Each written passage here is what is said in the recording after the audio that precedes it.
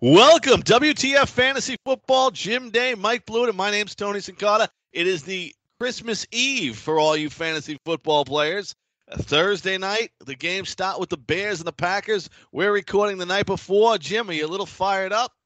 Oh, absolutely. Real football. I actually got a draft I'm going to be starting while we're still on the air tonight, so it's kind of interesting going to be a long night, but yeah, football tomorrow. I'm all ready for it. I uh, I did one today at noon, and I might sneak one more in tomorrow. Mike, uh, any more drafts for you? Or are you done?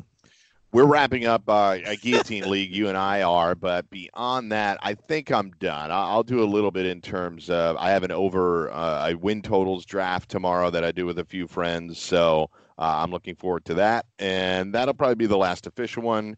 Even though I what may do you do mean a, by few... a win totals draft? So over under for the year, where you uh, we have a snake draft. So uh, you uh, whoever picks first, we're going to pick the the order randomly tomorrow morning, and then whoever picks first says I like the Raiders under.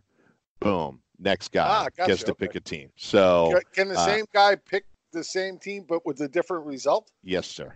Okay. Can uh, not the same guy, but yes, I know what you're saying. You can you if I pick the Raiders over for the year, you can pick the Raiders under to cool. challenge that. Uh, but yeah, cool. it, I never did anything like yeah, that. it's cool. It's only four people. We each do four teams, so you know if it starts to get pretty thin, and we each do a fifth team too for tie breaking purposes. So you get 20 teams into the league. Believe me, you're not that confident in your picks anymore. For everybody out there that didn't hear a podcast last week, we did one, but we had a little technical technical difficulty and it didn't record. So you're going to get the same show, which was really good last week. So it should be even better this week. And Mike's here. Mike wasn't here last week, so right. we're going to cover the whole NFC. that's why it was good. Sabotaged it. Yeah, yeah, that was it. That was it. Michael didn't want the show to be good when he wasn't here. Here's the thing. I'm going to do a question I think that most people have about each team in the NFC. We're going to go down the list, get everybody's opinion. And we're going to start out with the Arizona Cardinals. And you look at quarterback Kyle Murray, he's been up and down in preseason. We got a new offense, a new head coach. And Mike, I'll start with you. I got to ask you is Mr. Kingsbury the next Chip Kelly? Well, that wouldn't be a good thing in terms of the NFL. So I appreciate the way that you set that up. I have some concerns. I think in the rush to try to find the next Sean McVay, we're not exactly vetting the process of the guy being the total head coach. He may be an innovative offensive mind, but he also ran one of the worst defenses in college football for years. So, uh, can he make up for that in the NFL?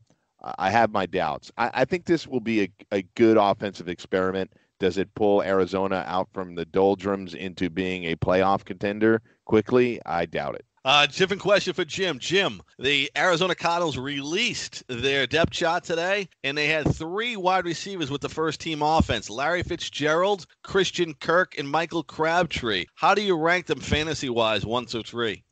I'm definitely going with Fitzgerald first, Kirk second, Crabtree third. And, you know, I was telling everybody on the frenzy, had, there was a reason they picked up Crabtree. Obviously, they don't think the rookies they drafted are ready yet. And let's face it, before the, the NFL draft, everybody was saying this wasn't the greatest wide receiver class. Yet, you know, once they get drafted and they're on a team, everybody in fantasy wants to have that shiny new toy, except these shiny new toys ain't ready. And that's why they went out and got Crabtree. Crabtree will be the number three receiver on that team, although he'll be the number four option in the passing game. I absolutely agree. Mike, anything different there from what Jim has? No, I, I think he lined it up nicely. Uh, unfortunately, Hakeem Butler is going to be uh, gone for the year. We'll see if Isabella and KeeSean Johnson can break into it, but I, I think that'll be your depth chart for the majority of the year, unless Isabella can show an ability to get open in space if they're possessing the ball a lot. Maybe picks up uh, a decent amount of catches from the slot. Jim Day, Devonta Freeman is the in the top five paid running backs in the National Football League. Ezekiel Elliott, now the highest paid running back. Devonta Freeman's in the top five. Does he finish in the top five fantasy wise for running backs this season? I don't think he finishes in the top five, but I think he has a good year. I actually have him as my comeback player of the year. I think he's going to have an excellent season. I think all the injuries are being made much more of than they really are. It's just what happens to running backs sometimes. I don't think it's a something we could see every year as happening. So I think he's uh, he's in good shape. Everybody's talking that he's he looks like he's very healthy and ready to go. I like him this year. I got to ask you, Mike, uh, now 32 years old. I can't believe he's this old. Matt Ryan of the Atlanta Falcons. He was a Super Bowl champion for a half. Will he ever win a Super Bowl in his career? Loaded question because you know how much I like Matt Ryan. Uh, and I actually really do like the Falcons this year to potentially even win this division. I think they'll challenge. I just don't think that they'll have all of the horses to navigate through the NFC playoff race. Uh, so, to answer your question, I'm going to have to say no. I think the odds are against him. Uh, but I say that with, you know, probably 60 40. You know, I, would have to shade no only because I don't think it's going to happen. I, getting to that height and blowing it in the manner that they did, I think will be really hard to rid themselves of that. But uh, getting all the defensive players back this year and seeing positive results from guys like Freeman, I think will help them a long way. I, I think they're being vastly underrated this year. I read a Pro Football Talk consensus today of the, all of their playoff picks and divisional and Super Bowl picks, and not one of the six writers there picked the Atlanta to even make the playoffs, and I think that's way off. I, I think they're going to make wow. the playoffs this year. Jim, the Carolina Panthers, Christian McCaffrey. Uh, the coaching staff alluded to maybe they used him a little too much last season. Do you see Christian McCaffrey not in on goal line situations? Well, that's what they're they're alluding to, but you know that's not really his thing anyway. He doesn't have to score from the two or the three yard line. He's going to score from outside of that. You know, he's going to make scores from, you know, from the 10, from the 15. That's just the kind of player he is. So I'm not really worried about him much if he loses goal line carries. Let's face it, half of those used to go to the quarterback anyway. You know, that's one of the crazy things is that you always look at the goal line situation and people look at the uh, running back situation there. And I seen this week people drafting Kamara ahead of him in some instances. Have you been scared off at all Mike, about the situation involving Carolina and the goal line work? Not really. I, I, don't think it's egregious to have Kamara in front of him in the first place, but uh, I would have McCaffrey at, at one or two. I, I understand that there's. I, I think we get into situations where there could be a little bit of coach speak. Yes, they will try to protect him when they can, but when the money's on the line, and right now, interestingly, the Panthers have the second most juice to go over on the season. It's uh, minus 200, I believe, in Vegas right now for Carolina to clear seven and a half wins. So there's some positive thoughts about the Panthers clearing their win total, and I think when the chips are on the uh, chips are on the table, I don't think Rivera pulls them out to save them when they have a scoring opportunity late in the game. They have it. The Carolina Panthers and Christian McCaffrey. People all in on McCaffrey. I don't have him on a single team, and it's not be and it's not because I didn't want to draft him. Uh, the only time I got the early picks, I ended up with uh, Saquon Barkley. So uh, I'm not complaining, but I think uh, Christian McCaffrey would have been my second pick uh, in drafts out there. You listen to WTF Fantasy Football as we get you ready the night before the season kicks off. The Chicago Bears. Jim, I look at this team, right, and I love the offensive coach. I am sketchy about the quarterback, but I look at the wide receivers and I see Allen Robinson, Taylor Gabriel, Anthony Miller is this going to be a team that puts up big numbers on the offense? Not consistently, no. um, I think they'll have some big games, but yeah, I don't think they're ready to put up consistent numbers from week to week. I'm not really sold on this these wide receivers at all. I think Anthony Miller will get there, but he missed a lot of time in preseason with injury, uh, dealing with injuries. Um, and like you say, Trubisky's not fully there yet. He showed last year he could have some big games, but then he also showed that there were times where if you got after him, then he just lost it and looked lost out there. So uh, there's definitely going to be some growing pains, and he needs to to step up into that role. He's got a perfect place with a good coach. Uh, he's got some some pieces around him, but I definitely thought they would try to improve it at wide receiver this year. Last week, the Taz said, "Hey, I got David Montgomery ahead of Tarik Cohen. Mike Blewitt, who do you have? Cohen or Montgomery? You picking first? It's a good question. Uh, Mike Davis often gets left out of the discussion here. I just wonder how much how many carries he steals early. Not much. I think I probably not much, but I, I I think Cohen will obviously get more consistent touches, but I probably would rather have Montgomery because there's the difficulty with Tarik Cohen and own, having owned him on a couple of teams last year is that you had Matt, you had big games followed by really small games. It's difficult to predict to predict the number of touches he's going to see per game. Even if Montgomery is a little cloudy early, at some point during the season, you'll probably see more consistent touches from him. So I'd rather have Montgomery for that reason. Can I ask why do you think you're going to see cloudy out of Montgomery?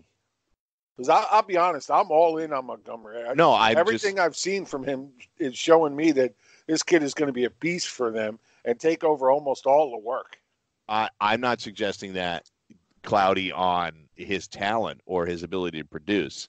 I just wonder if they take some time, bring him into full, into the fold, sort of like the Browns did last year. I understand we shouldn't compare Hue Jackson to Matt Nagy, but I just wonder if there's an opportunity for other players to get touches early before Montgomery proves himself or before they finally cede all the carries to him. Just suggesting that maybe the first few weeks they won't throw him right into the fire. I say no, damn it. I say no. Montgomery, Montgomery for president. There he is. Jim's got him. Jim, uh, the Dallas Cowboys. There was a wide receiver in Dallas that used to be a thing. Uh, I don't know if he's a thing anymore. Fantasy owners don't think he's a thing anymore. Any chance Randall Cobb becomes fantasy worthy? Well, he can. I'm not going to say he can't. Look, it, it's really up to him. Can he stay healthy? Can he stay on the field? The talk all off season is that what is Kellen Moore as the new offensive coordinator going to do to this offense? And supposedly he wants to switch it up. He wants to create mismatches. And, you know, Randall Cobb, Tavon Austin, those are guys that do that well. They, they have the talent to where you can move them around, do a little bit of everything with them. Heck, Randall Cobb can throw the ball if you need him to. So, you know, if they get him involved in all the different aspects and he can stay healthy, then absolutely he could do that. It's just that's the big question. He hasn't been able to stay healthy in the last few years. Mike, is Dak Prescott closer to Danny White or uh, Roger Staubach? Danny White. That's a, I mean, I don't even need to expand upon that one. But Roger Staubach is an all timer. He retired with the highest passer rating in league history when he retired. I understand it looks it pales in comparison to current day QB ratings, but Staubach is a Hall of Famer and an all timer. Danny White was a guy that just sort of bridged the 80s from Staubach to Aikman. They had okay success, but they didn't really do much in the 80s. You just wonder if uh, you hope Dak's a little closer to Staubach, but I think he's closer to Danny White. Jim, Danny White got a lot of time on the field for a punter. Yeah, yes, he did. Look, I, I you know, I, I'd say he's closer to White, but I don't think he's that close to White. Look, he, he's a serviceable quarterback. Um, he's better for fantasy than I think he is for the NFL, actually. But it is what it is. I, in that offense, with that offensive line, with Zeke back in there, uh, with Cooper there now, he, I think he puts up strong fantasy numbers again. Tony, all, all that, all, all that to say, he's going to get a hundred million bucks. Yeah, Mike, real point. quick then, Steve Beuerlein or Danny White? is he closer to Steve Beuerlein or Danny White? Yeah, I think Bur- is Beuerlein better. I, yeah, like Beuerlein, Beuerlein had some good years. He did. Uh, he did have some good years. He had. Some... I feel like Beuerlein's heights were maybe better than Danny White, since Danny White was the Dallas Cowboys quarterback, so he got a lot of pub. But I think Beuerlein might have been better. So I'll say he's closer Beuerlein than White. Uh, there you have it, guys. We're breaking it Not down sure like nobody. Compliment. Yeah, nobody else's business. Nobody else breaking down punters for you. As uh, you know, we get it done right here. We're moving on to the De- yeah the Detroit Lions. When you look at the Detroit Lions, and of course, this is a team we expect to run the ball this year. And Jim, I asked you this last week. I got to ask a question because I I don't have him on a single team. Kenny Golladay is he overrated in this offense? If the Lions run the ball as much as we anticipate. Well, no. Look, everybody worries about oh, this is a running team. You know what? They still got to pass, and it's still going to be close to you know even a heavy running team. What are you talking about? Sixty percent running, you know, forty percent passing. I don't even think it's going to be that high. So you're you're talking about you know less than ten percent different between the two. So that means plenty of passes.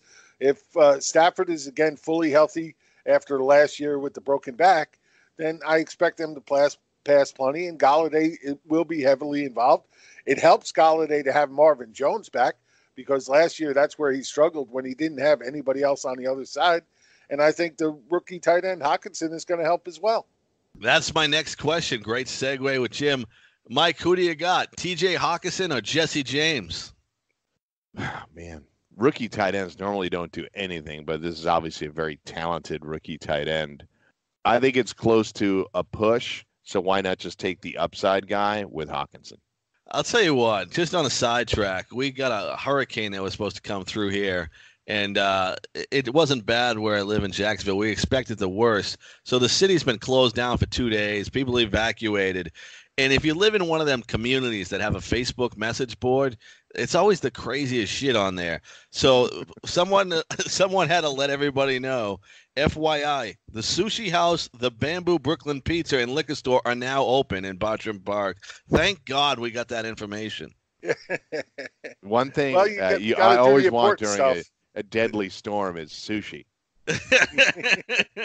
or Floridian pizza. Yeah. Oh uh, God, uh, yeah. Oh God. It. Green no, no, Bay, no. Green Bay Packers. Now this we had last week, so I'm going to ask Jim it again.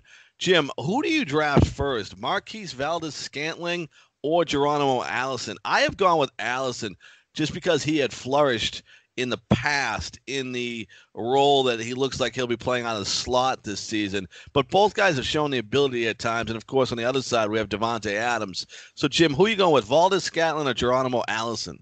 I actually like both. I think they're very close in value at this point. The difference is going to be that Valdes-Scantling is going to be on the field when they're in two wide receiver sets, uh, not Allison. Allison and beyond when they have the three wide receiver sets, which will be often. Don't don't get me wrong. And we know that Rodgers loves to throw to that slot receiver. He has a high target percentage rate to that to that spot.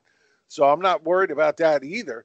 Um, I think Valdes-Scantling has more big games, but I think that Allison is more steady and more uh, consistent from week to week.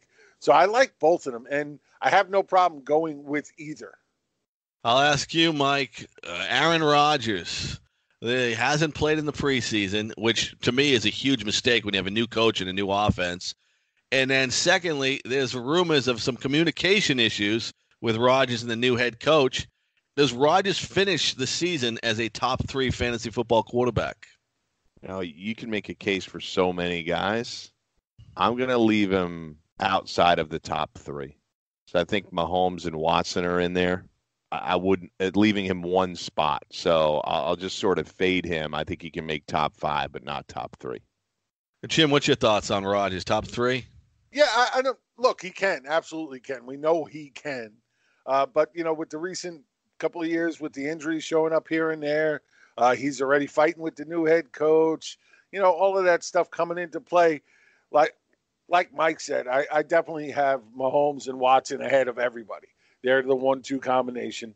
After that, it, it can be anybody's game. There's so many guys that are in play for that number three position that if I was a betting man, if this was a betting proposition, I would play the field. Yeah, same. All right, Baker, uh, Matt Ryan, Wentz, Goff, like so a bunch so of guys. Yeah. yeah, so many.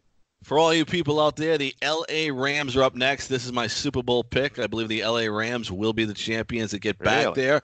And I think that Jared Goff in the Super Bowl will suffer an injury in the second quarter, and Blake Bortles will lead the team to the Super Bowl. Of course. For all you, you Jaguar fans out there. set us up. Uh, Jim, who who do you got? Malcolm Brown or Darrell Henderson as the guy to get a lion's share if Todd Gurley were to get out with his arthritic knee that we saw trouble him last season? All indications, all preseason have been it's absolutely Malcolm Brown's job to lose. He is the backup. You know, it's been pretty well stated by everybody. Uh, he's been the guy that's been listed as the number two all preseason. I think Henderson is going to be a decent back at some point. But while all the, the hype was on him early, once we got into the preseason games and all of a sudden this guy wasn't running very well, wasn't really getting much done, all of a sudden you saw him start to fall way off. I look, if I, I'm investing in one of them, I'm going to go right now with Brown over Henderson. Brown over Henderson. I got to ask you, Mike. The names are big: Brandin Cooks, Robert Woods, and Cooper Kupp. Can three guys from the same team catch 70 balls? I believe so. Considering the amount of time, balls. con- he, he, consi- he said balls. considering the amount of time that they all spend on the field together, Jim was talking about the Packers lining up, and I, I do think the Packers are going to have a a, a very consistent 11 personnel look. Aaron Jones uh, as the back, and all three of the wide receivers that we talked about uh, earlier in a lot of those sets. The Rams run 11 personnel well over 90% of the time. So all three of those guys, the ability to stay healthy is really going to be the only thing that would scare me away. But I, I mean, they came pretty darn close last year, didn't they? We Yes. spent most of the preseason trying to figure out which guy to draft first. All three were going in the wide receiver two range. And yes, if you asked me to predict it, I, I'd want some odds on it, but I think all three get 70 this year. Very interesting. I'll tell you, I think the Rams actually, with all the talk out there about people's predictions right now and betting on teams to win the Super Bowl, the Rams played one bad game in the Super Bowl, and I thought oh, when you look at offense and defense, and even the kicker, I think it's the best team in football by far. Yeah, Yeah. I'm not sure. You know, look, they, they have a good team, uh, but there's plenty of other talented teams that, and it really depends on which team gets hot at the right time or New England. Or stay healthy. Or stay healthy here, right? Yeah, I, I mean, I, I I do have concerns though. The last time we saw a team lose the Super Bowl and go back to it was the Bills. There does seem to be a Super Bowl hangover for a lot of teams. Uh, the Falcons, uh, obviously, after the 2016 season, they they struggled in the 2017 season, and I just think that we are we have seen a very consistent pattern of a team having a difficult time to get back to the mountaintop after losing that Super Bowl. Now, to your point, top to bottom, that roster's really good. They've just been tweaking it. I think they're strong at really every uh, position group, but uh, I, I'm not going to have them in the Super Bowl this year. It doesn't mean that I think they'll be a bad team. I just think there could be a Super Bowl hangover. And the way that Seattle has nicely tweaked this roster this offseason, I think they're going to uh, see a challenge from the Seahawks for that division. Yeah, it's going to be interesting if those both defensive ends get their head on straight. right. That's going to be a very, very good defense. The Minnesota Vikings, Jim, uh, Dalvin Cook, of course, the guy that everybody's looking for, but a lot of love out there for Alexander Mattison. Do you see him getting much work if Dalvin Cook does not suffer the injury that we're accustomed to? I think he does get enough work to be fantasy viable. He's not going to be an every week starter for you, but he'll fill that, you know, flex spot at times or buys or injuries. I think he does have that capability. They're already talking about giving him goal line work, trying to keep that off Cook's plate uh, so he doesn't take that kind of pounding. And, you know, he can do a little bit of everything. So I like the kid. And, you know, of course, if Cook goes down again, this kid steps right into a premier spot. So yeah, he's definitely somebody I like, and is definitely one of my top. You know, I'm not a big fan of the term handcuff, but he is a handcuff. Mike, I got to ask you. Speaking about handcuffs, I don't think anybody handcuffs the tight end, but Kyle Rudolph's been one of those guys that have been right around the top ten the last couple of years. Uh, it's been a red zone target, but they go and draft Irv Smith in the first round. Who do you draft at tight end if you take one from Minnesota? I think you have to go Rudolph until, and they did extend him. There was a moment there uh, during the early days of the league year where we thought they might be moving on from Rudolph and in and around the draft, but they did extend him. I, I think you're uh, in a good position with Rudolph. He may not be one of the elite guys, he never really has been, but I think he gives you some solid touches on a weekly basis. We talk about this every year. The position, the tight end position is such a complete mess that you need somebody that can be out there on a consistent basis, at least getting you touches. And Rudolph is at least that. He's going to be a tight end one, even if it's not spectacular. Jim, I'm going to ask you this question, and I hate repeating nonsense, but I'll, I'll repeat it.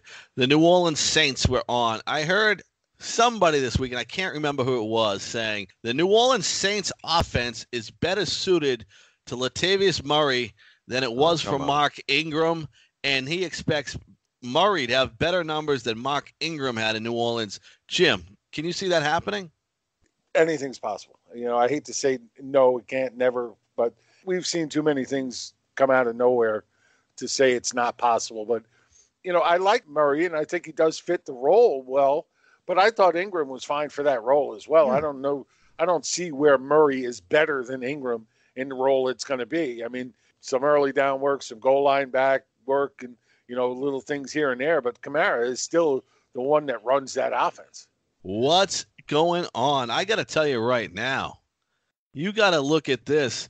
If uh, Latavius Murray, Mike, is better or even close to Ingram, people are getting a steal in drafts right now. I agree with that, but what is the deal with the, it's been happening, Tony? Mark Ingram got drafted in 2011. We spent like eight years defending this guy. He isn't a bad player. He's been a really good, productive running back with injury issues and one suspension. There's the weird dynamic with him and Payton where he'd get pulled out of goal line scenarios all the time, and he seemed uncomfortable with it. But he's had a productive career, and Baltimore has him on a really good contract. I know we're awaiting Justice Hill's coronation, but I, I just don't understand that. Like as as far as Latavius Murray is concerned, I, we've always seen Saints running backs be valuable. Kamara is obviously extremely valuable. We've always seen the next guy be valuable, and if one of them gets hurt, the next guy will be valuable too. They utilize their running backs well, and they score a lot of fantasy points.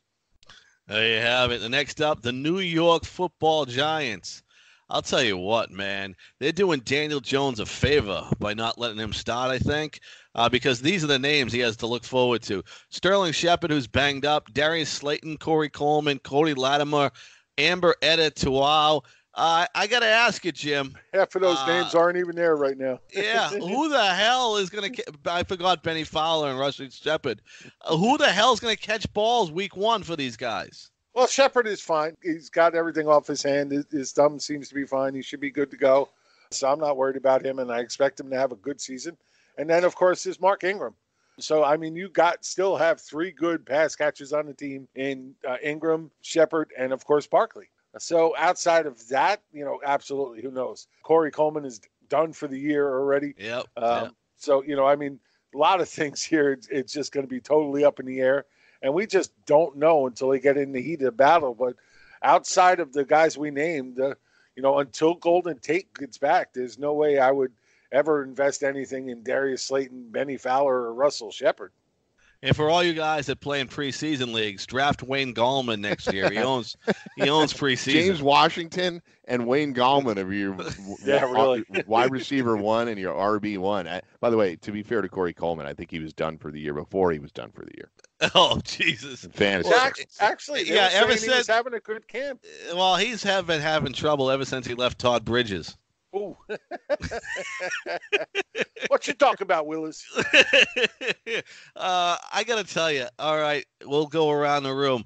Daniel Jones first start, Jim. What game will that be? Ooh, I'm gonna say, uh, man, I'd love it to be game one, but that's not gonna happen. I'm gonna say game six. Game six, Mike. Where do you got Daniel Jones coming into play? It is after it's after week six because I think that's against the Pats. So home game against Arizona, week seven. Uh, I think the Giants might struggle early, uh, and then Jones. You think? Yeah. I think the, I think the Giants will struggle early. I think it should be right around where you guys say. But for whatever reason, this owner is in a relationship with Eli Manning that's unconventional, and he You're can't let go. He You're can't let go. Uh, it's going to be week 10, and people are going to be scratching their head. But we'll see Daniel Jones, I believe, in week 10. Jim, do you think there is a scenario where the Giants are, are, are play a lot better than people think? I just think the defense isn't going to hold it together. So, well, that's but, that's going to be the key to defense. They have look, they have enough on offense, and the offensive line should be greatly improved. So they do have enough on offense, especially when you got Barkley in the backfield, that they could make a run offensively. It's whether or not this defense can come together. And man, for whatever reason, this front office just won't invest in linebackers. Ever. They just don't believe in linebackers. I don't even know why they play. It's them. a whole new regime, and they're still not doing it. Yeah, really, it's just I don't amazing. Get it. That's why I can't watch them when they draft. You know, when they're in the draft, when they're on, I can't watch because I know they're going to do something stupid. Next up, the Philadelphia Eagles. Jim, I got to tell you, man, I hate drafting Eagles running backs before this season, but I think this season's the worst. Miles Sanders, Jordan Howard, Darren Sproles, and Corey Clement. I think all four of these guys can play. And that's the problem, Jim. I see Miles Sanders getting the ball from the 20 to 20. I think Jordan Howard gets a third down and on the goal line, and he'll get a little play. Darren Sproles going to get the ball on third down. And Corey Clement, it won't shock me. Game one, the ball on the two yard line. Corey Clement's in the backfield, Jim. What the hell is going on in this Philadelphia backfield? Same thing that's always gone on, Tony. Just total calamity. for fantasy owners, it's always been the hardest thing to determine, just like New England. They like to use situational running backs, and they have guys that can do that. Look, I, I still think Jordan Howard is going to be the early down back. I still think he's going to be the goal line back. You know, this is a guy everybody said, oh, what a terrible season he had last year, but still over 900 yards and nine touchdowns. I, I think he, with this offensive line, he, he should get enough opportunities. I think he could hit a thousand yards.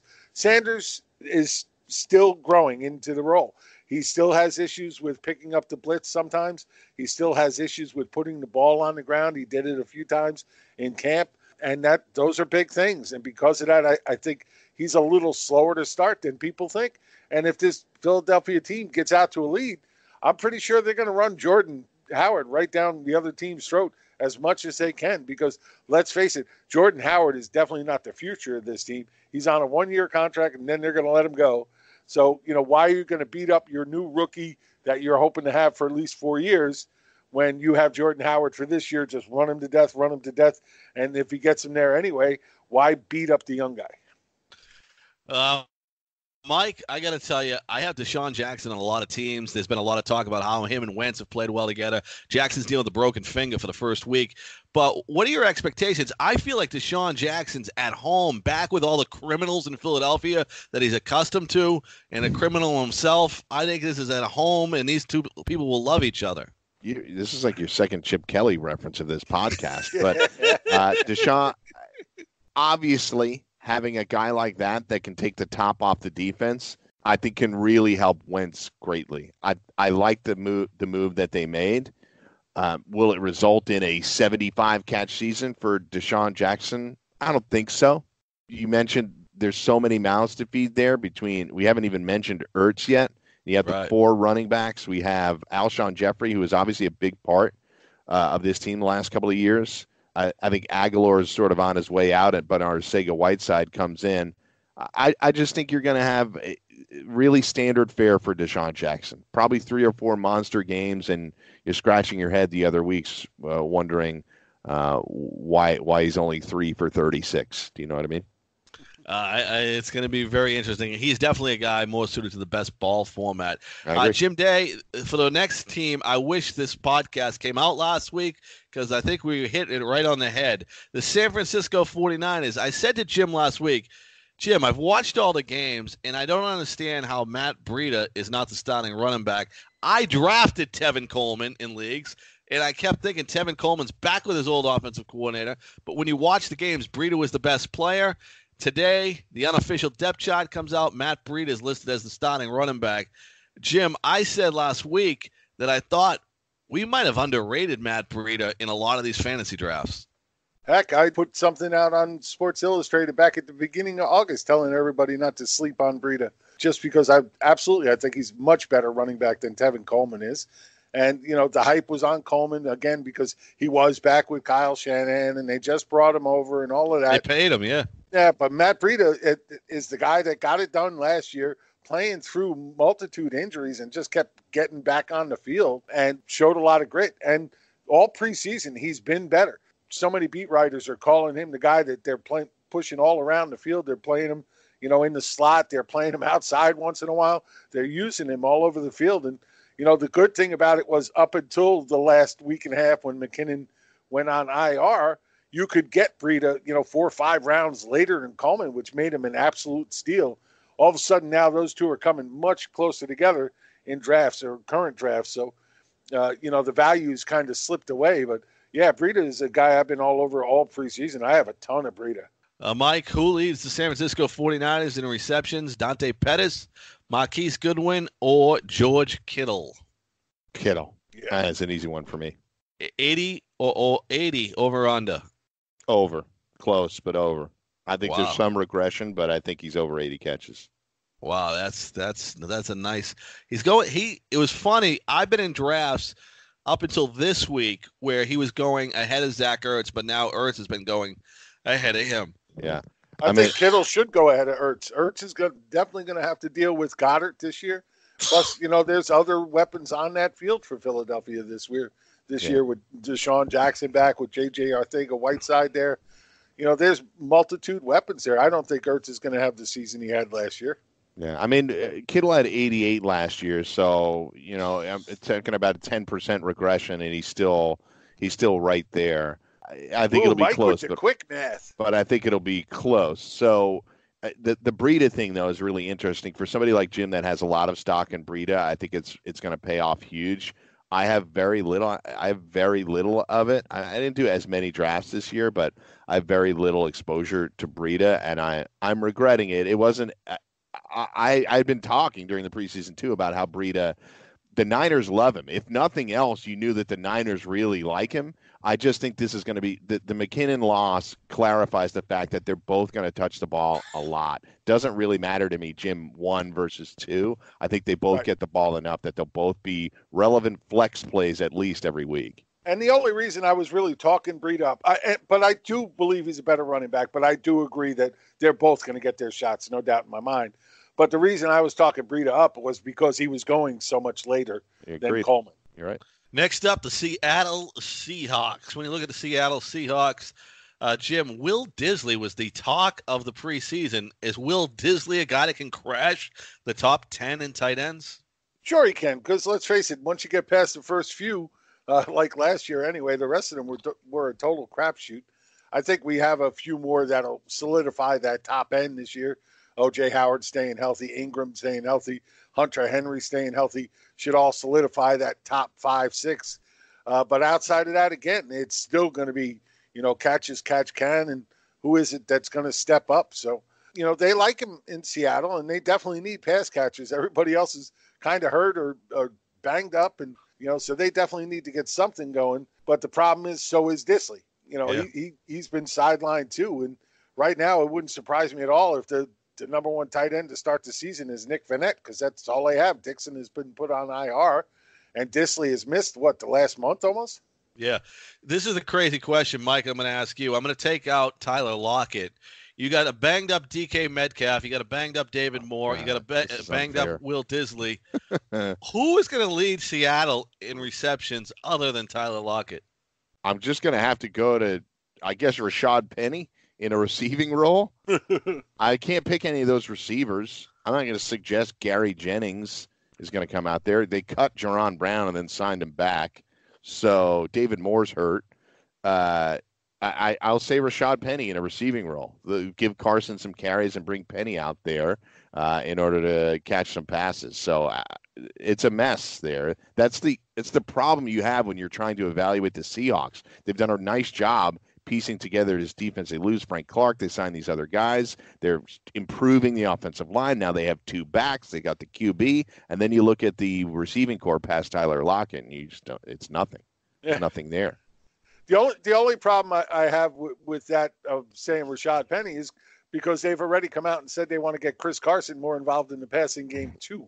Right. Um, so if that's true, if that's what they want to do, then I can't see Penny getting there.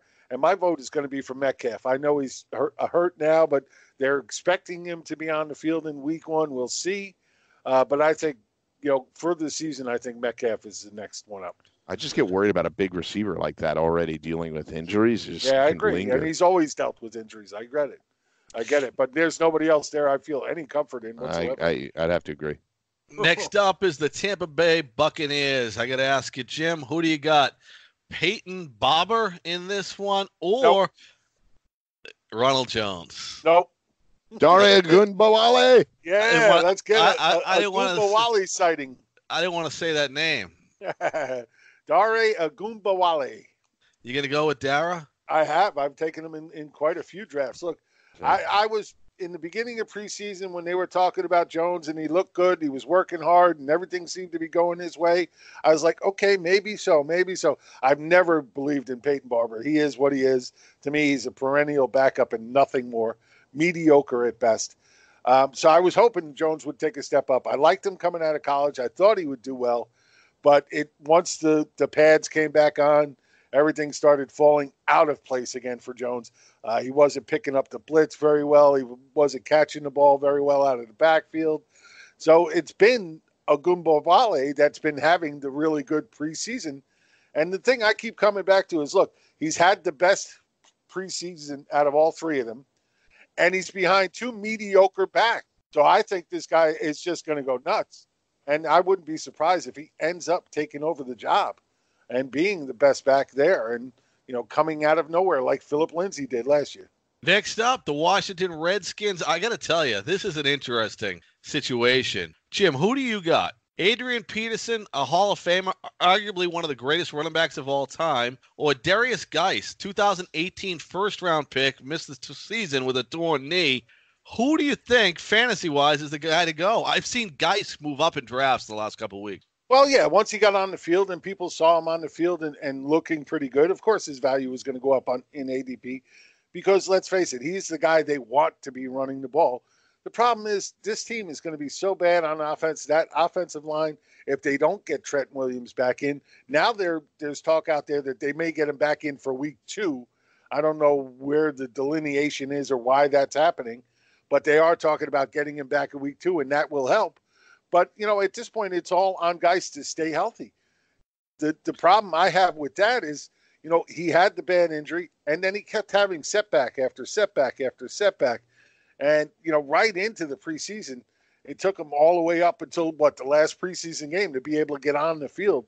And that just bothers the heck out of me. So, you know, he may be the guy that gets out there, gets it done, and good for him.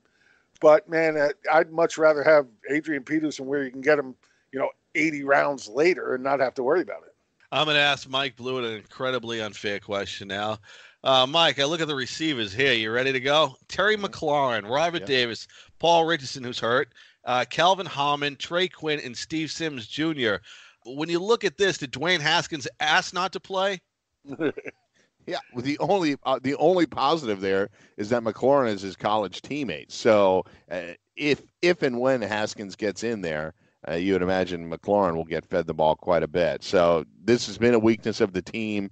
Uh, Josh Doctson getting cut uh, actually probably helped them, and not by much. It probably just allows the rookies a little bit more uh, space to get into the lineup. Everything about Washington this offseason after the draft has gone south. Right now, the left side of their line is Donald Penn and Ereck Flowers. So if Case Keenum is able to stay upright, I don't know how it helps Derrius Geiser, Adrian Peterson. I don't know if any of this stuff is relevant if they can't protect anybody. There you have it, guys. We're all ready to go. Week one of the fantasy football season. We'll be back next week for week two to break down all the action in week one, get you ready for week two. Jim, where can people find you? Ah, they can find me, of course, on Twitter at Fantasy Taz, and that's usually the easiest and best place to do it, uh, just because you'll see everything else I'm doing. But of course, now we are on the Sports Grid Fantasy Television Network every day, Monday through Friday, from one to two on the Fantasy Football Frenzy. Uh, and of course, I will, starting this Sunday, I will be doing the Roto Experts show in the morning on Sunday from 9 to 10 with Joe Pisapia. Looking forward to that. I think Davis Mattek is also going to join us on there. So I'm looking forward to that. So, yeah, it's got a lot of things going on, folks. I got podcasts on top of that. Starting a new radio gig every Saturday for a Tampa Bay radio station, Tony. So, uh, fun stuff. There you have it. Uh, Mike Blewitt, what's the deal? Where can we find you?